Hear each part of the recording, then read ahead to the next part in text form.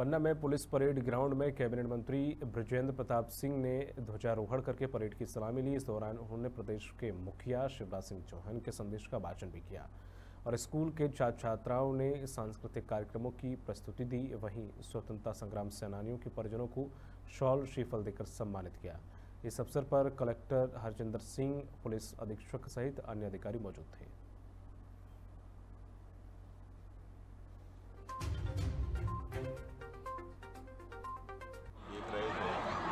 से लेकर बुज़ुर्गों तक।